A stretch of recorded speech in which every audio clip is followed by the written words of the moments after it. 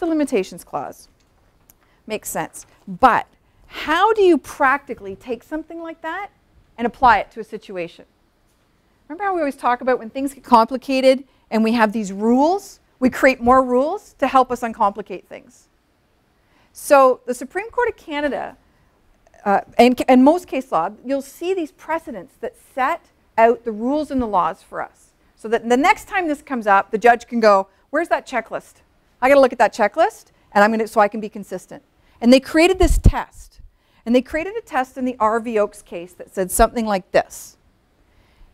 If we're going to look at a piece of legislation and say, hmm, that infringes someone's charter rights, the first question we're going to ask ourselves is, does that legislation have as its objective a really, really important critical thing? And if it does, we're going to say, okay, it's passed the first test. Now we're going to move on to the next one, and we're going to say, how exactly is the statute limiting someone's right and freedom? And they'll say, well, we got to look at the way in which it's actually limiting it, and we'll look at whether or not there's any other way we could achieve the objective without trampling on someone's rights. And we'll try to make sure there's a balance between the measures we create and the actual objective of the legislation. And if we're going to create infringements, they better help us meet the objective. They can't just be arbitrary and unfair. So before I talk to you about the Oakes case, I want to give you a more simple example because as you all know, I have a 16-year-old daughter, right? And if you don't know, you know now.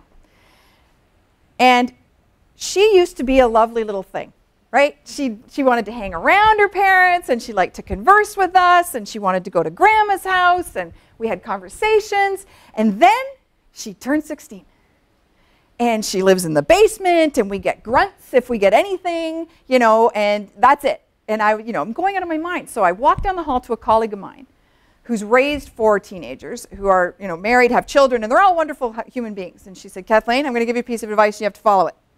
So, okay, what is it?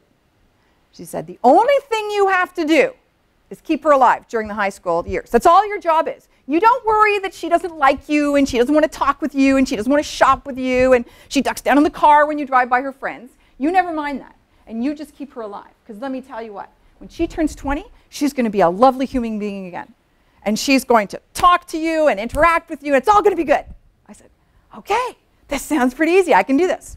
So let's say I decide to enact a piece of legislation, and I'm going to appoint all of you to the Supreme Court of Canada to weigh in on the quality of my legislation that says she's going to be locked in my house every day now so I can keep her alive.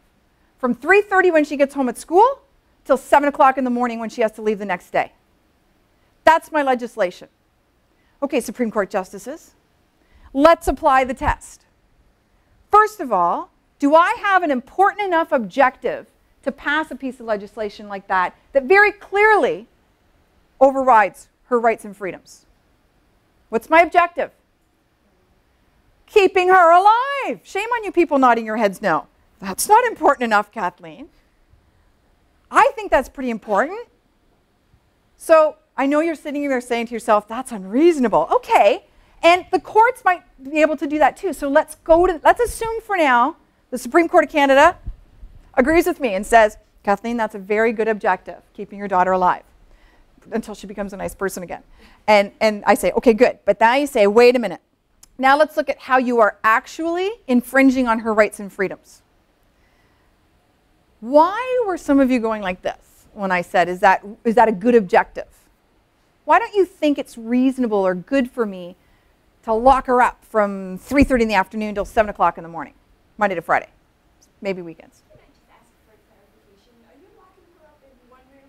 No, she has free rein in the house. Okay. Free rein in the house. So why is that unreasonable? Or you all think I'm good? What do you think, Brittany? Uh, well, like up isn't going to help her like, um, like social out in like, the real world. Like she needs to be out there to get along with others. So it could create some socialization problems from her. But let's think about my objective. I'm sorry, my objective is keeping her alive. Cassie?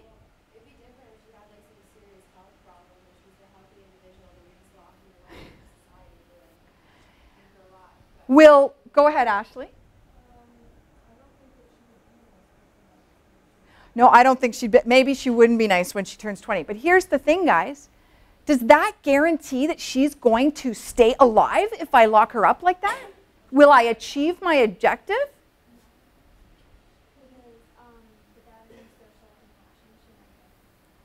Okay, let's dump the social interaction. Let's talk simple things like the house could burn down, right? That does she's inside the house locked. Failed to achieve my objective. Not good. Right? My other students were quick to point out, maybe she'd fall down the stairs. They thought of all sorts of horrible things that could happen to my daughter inside my house while I thought she was safe. Never mind the fact that from 7 a.m. till 3:30, she is still outside of my care and control. She's getting on city buses. She's going to school. She's interacting with friends. I can't monitor her 24 7. So I am not likely to achieve my objective, first of all.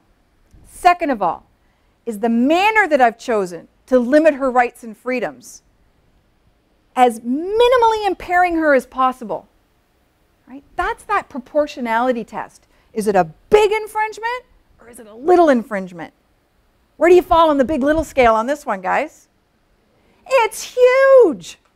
Think of being 16 years old and not being let out of your house after school. The only thing in your life is school. Like, kill me now and get it over with, right? So it is not minimal. It's not minimal. And if you're going to trample on someone's rights, this clause isn't meant to allow people to trample with great big construction boots. It's meant like get your ballet flats on, and I need you to trample very lightly if we're going to allow this to happen. That's what that is. Okay, so that's a bit of a silly example, right, that really is extreme. And the courts, you know, don't have the benefit of